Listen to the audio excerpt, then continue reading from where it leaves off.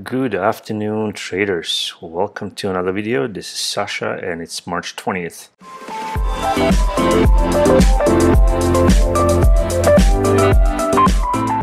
Quick disclaimer that this is just how I see the markets. This is not a recommendation to buy, sell or hold any securities.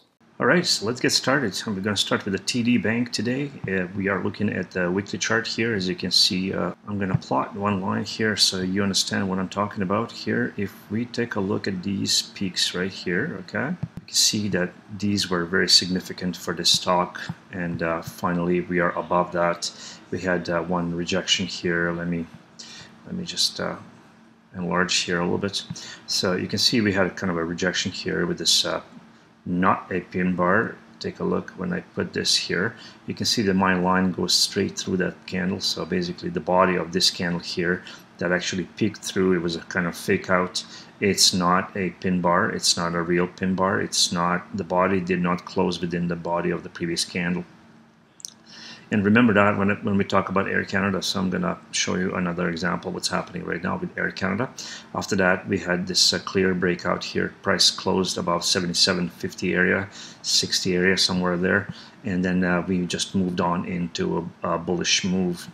Also, if I squeeze the, uh, the candles right here like that, um, if we look in the past, there's uh, not much for us to look at uh, or to go by. So all we have at the moment here is this uh, peak right here, okay, which was at um, $80.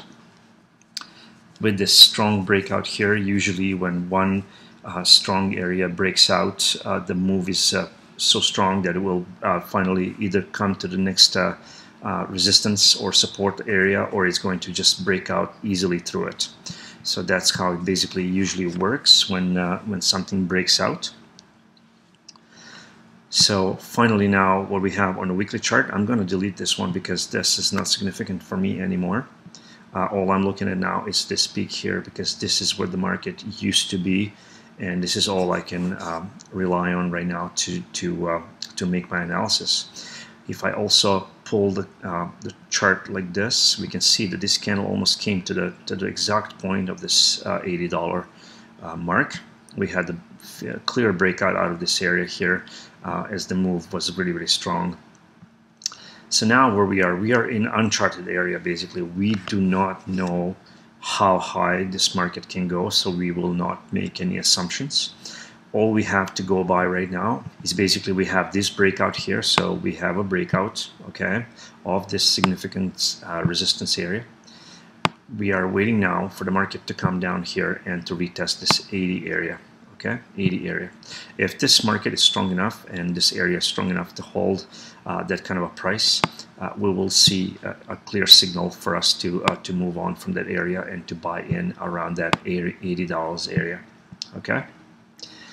If this is just a fake out and it can happen basically this is what's going to happen. Market broke out. Once comes back here to retest it it will close the price below okay? And if it closes uh, price below if we see the rejection of this level here okay like this so it has to be an upside hammer like not a signal like this. This is a bullish this is a bearish signal okay? If we get something like this we could get market coming down again to this 75 area okay to retest and that will be our second area to buy in into this market okay if the, only if this is a fake out. So that's what we're waiting for right now. We're waiting for the market to come back to $80 and confirm that this area is actually significant and it will stay like that. If not uh, we will see the breakdown uh, to 70 uh, 76 area here. Uh, so this is how I see uh, TD Bank at the moment on a weekly chart. So we are uh, waiting for the market to come back and uh, uh, retest the 8004 area. All right, let's move on to Royal Bank. On Royal Bank, uh, what we have here, basically, if we pull the chart as well, we are on a weekly chart again. We can see that 109 was a very significant area for us to break out. We had one, two, three peaks, then four, five, uh, pretty close to 109 area. What's happening right now? All right, so this is what we are looking at basically at the moment. I'm going to enlarge here so we can all see what's going on on the chart. So we know this was a significant area for us to look at and uh, market actually broke out uh, from there. Uh, we had this like little peak here through the through that area. Basically, the next uh, the next week we had this kind of a, a, clear rejection of the of the markets of that um, higher level. However, at the bottom of the candle of that uh, of that upside down hammer was never broken, so the market never came down uh, to retest these lows here. Uh, we did continue on. Bulls were strong enough to break out. They finally closed the price above, and we moved on into a bullish direction. However at the moment, same as with the TD Bank, we don't have anything to rely on uh, from the past where the market used to be. So we are basically, again, in the uncharted area. But we can see on the market here, there's a couple things that can that can happen on this. All right, we can since we broke out like this, you know, market can just come down here and retest this 109.51 area, give us another clear signal to buy in and move on. Okay. Second option if you look at this candle here, this is one week of the trading. This candle did make higher high. This was an inside candle, did also close with the price above. So we have an area here on the weekly chart that we can kind of rely on um, for the market to just to bounce from if that proves to be a significant area okay market will tell us if this is right or not when i use if when i describe anything if means that we have to wait for the market to give us uh, uh, a clear signal what's happening and uh, the uh, bulls or bears in control. So uh, if we don't see any bulls at this area here, then market will come down here to 109.51, okay, and give us most probably another opportunity to buy in into this market. All right, this is how it works. Right now we are in uncharted territory. We only have one higher high, that's which is right here. So we had a bullish breakout. We had a continuation. Now we have this little candle here, which is a doji. It's a very uh, significant candle for us, which means that uh, uh, it's not clear where the market is going or heading. So we have to wait for the market to give us uh, some kind of a clear clue how to continue on from here. Basically, on a daily chart, we have that. You remember that line that we had there? I'm just gonna pull this uh, new line here. So this is the peak I was talking about. I was talking about on the weekly chart. Okay, we could have the market come down here. Let me just mark as well these two things. This is on a daily chart, and you know the daily chart is actually very significant as well for us to uh, to look at. So this is what I see on a daily chart. This is that peak on a weekly chart on one candle. This was one week of trading. Okay, this is the peak that was made. All right, and we can may maybe expect for the market to bounce from this area here. However, the market is actually now stuck in this uh, daily uh, range, I would call it. We came to this 117 and it's basically bouncing between 115, 117 area.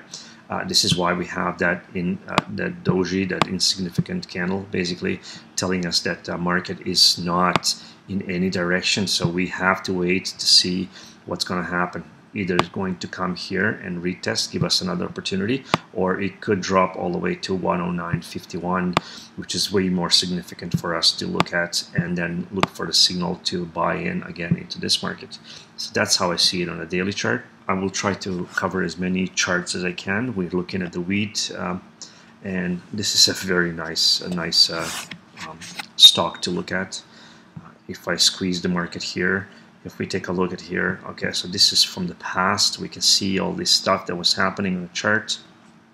Okay, and we also marked some of uh, some of these areas, right? So we had the breakout here, the one that I mentioned to you quite a quite a while ago and then we had this nice move all the way to this area here $70 this is like a $40 um, worth of trading in one two three four weeks of trading okay? We can see why this area was very significant. We can see market rejecting this area quite a few times. If you look at these candles that's one rejection candle that's the second rejection third and then we finally kind of peeked through we went back right away this was a huge rejection of this level so that was definitely a great level to look for uh, another trade at 38.26 all right. We also can see on the market that most recent area the market was was this area right here. And this is exactly where the market stopped. We can see all these beautiful uh, wicks that were just coming to this area and not going through. So all we have this basically we don't we have not not one candle that closed actually above this area. So this area is very significant for this uh, stock, and we'll see what's going to happen uh, in a week uh, to come. On the daily chart, I also uh, gave you a kind of a hint what's going to happen just a few days ago, and uh, if some of you uh, caught that, then you know you made some money as well. So let's take a look what what happened basically here. let's.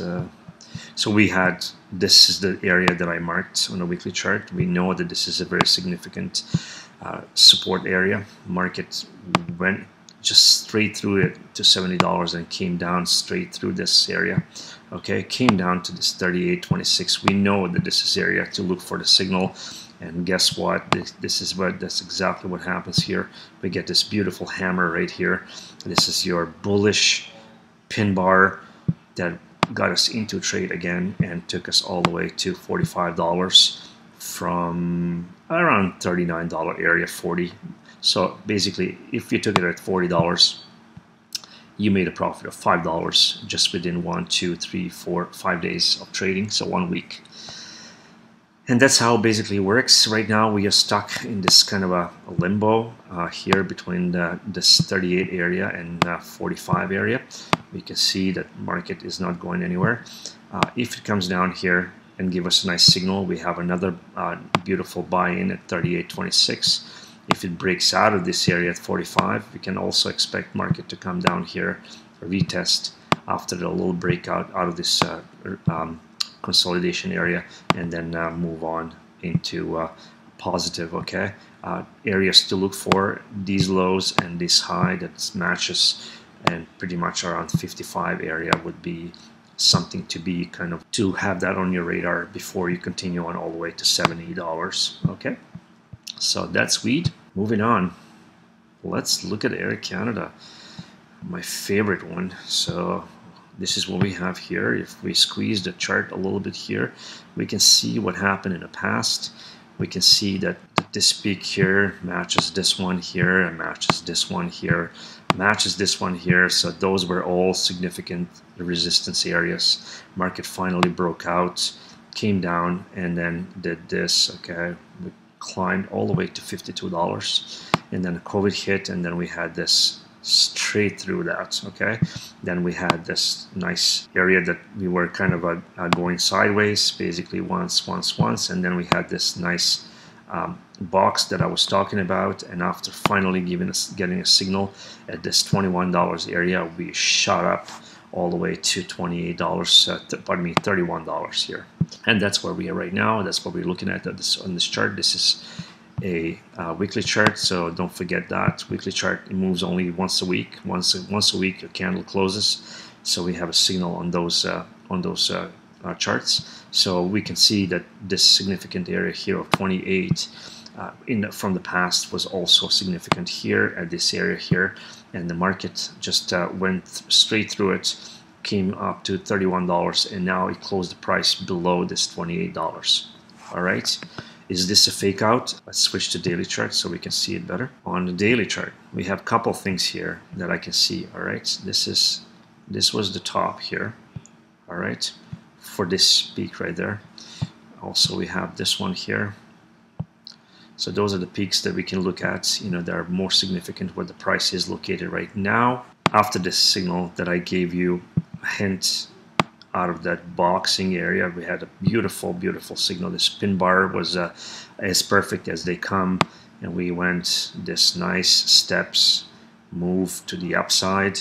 All right, finally reached $31 that's a beautiful bullish move. I mean, you can't ask for better than that. This is like school example of a bullish move. Now we are in retreat where market is pulling back. And what pulling back means, I always explain to you what it means. It means that uh, institutions and other significant traders are taking a profit. Basically, market is in the retracement uh, mode or pullback mode. And uh, we came down all the way to $26.53. Um, this is almost touching this peak right here. Okay, we can also see, let me just clear here. We can also see after this peak was created here, market moved on, and then we had this rejection here. You can see the uh, wick went through it, wick went through it, and we finally had a bounce right there from the with the bulls with this beautiful candle here. Signal to trade was given here. This was a pin bar and the market just moved on. All right. Now what's happening here? Well, if you look at this line here, we had this $28 area that was significant for us and we were expecting for signal to happen. Okay, I last last time I made a video, I told you this was an uh, this was an indecision candle, and actually decision was made. Uh, the uh, profit takers continued on. Uh, they wanted to lower the price even more, and now we're stuck with this candle here. Okay, let's take a look at this candle here, enlarge it like this, so we can see this higher high that was created after this kind of step move. All right? Here that, that was the highest high that was created back then all right? Market came down here. We are now broken underneath $28 it could be another fake out so this market just breaks out pulls traders in and then people start taking profit. Is this a pin bar? This is the question for all of you that are following my video. Um, is this a pin bar and is this the good area to buy in into the market okay I'm going to leave it up to you to decide and uh, you can put your comments in uh, in the comments section. Please do let me know what do you think about this candle here. I'll I'll leave it at that. Uh, I want you to tell me if this is a good area to buy in and is this uh, a signal that we were waiting for to buy into this market. And that's where I'm going to leave you with Air Canada. Let's take a look at Tesla. We don't have many points of reference. Uh, one point of reference is uh, $467 and we can see why uh, the market came to this point and it was a rejected rejected. We just basically went sideways. Uh, this candle came all the way to this area couldn't do anything. We were just basically uh, stuck in the sideways movement from this peak here to this peak. So everything here inside from this peak here we were basically stuck in this area for quite a while. This is weeks and weeks of trading okay so we know that this area here which is $467 uh, is quite significant and then we had a breakout here and then we moved on all the way to here. We had this inside candle that was created right there so we can use this as kind of a peak that, to see what's going on at this point of time. So $700 is kind of an area that market is kind of stalling. We can see that we went all the way to uh, almost well we went all the way to $900 right here this candle actually touched $900 and then uh, created this nice slope here. Uh, we were in retracement, market was correcting itself, uh, people were taking profit. So this was like a $300 profit that people took. And we finally found some bulls at this area here. And we can see that they're here, they're located there. However, if you look at this candle right there, okay, this is basically engulfing this one and this one. So this candle here, even though it's telling us that the bulls are located in this area, they're not as strong as we think they are at the moment. Plus, as you can see, this line that I pulled here at $700, we can only see these wicks going through. No candle is closing above, above that area, so um, basically this is becoming a very significant resistance.